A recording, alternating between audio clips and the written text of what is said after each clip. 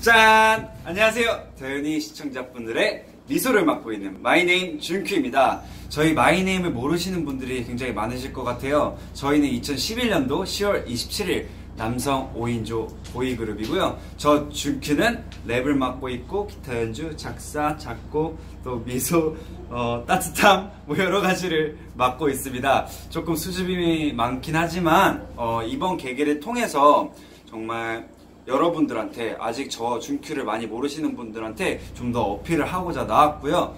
음, 되게 색다른 프로그램인 것 같아요. 이번 프로그램은 각자의 아이돌 그룹에 한 명 한 명씩이 나와서 그게 유닛이 돼서 그룹이 되고 그걸 활동을 하는 정말 생각만 해도 되게 짜릿할 것 같고요. 정말 저도 의욕을 가지고 지금 열심히 하고 있고요.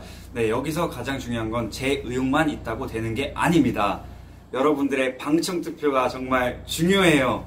그래서 여러분들한테 제 매력을 어필하려고 뿜뿜 어필을 하려고 여러분들한테 나왔습니다. 여러분들의 한 표 한 표가 저한테는 큰 힘이 되니까요. 어, 이번 The Unit 저 JunQ, MYNAME JunQ 꼭 뽑아주시면 감사하겠습니다. 네, 제 미소 여러분들이 The Unit을 보시면서 그 웃음 끊기지 않게 저는 약속할 자신이 있으니까요.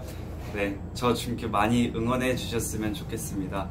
춤이면 춤, 노래면 노래, 랩이면 랩, 열심히 뭐든지 삼박자 할 테니까요. 아시겠죠? 사랑해요.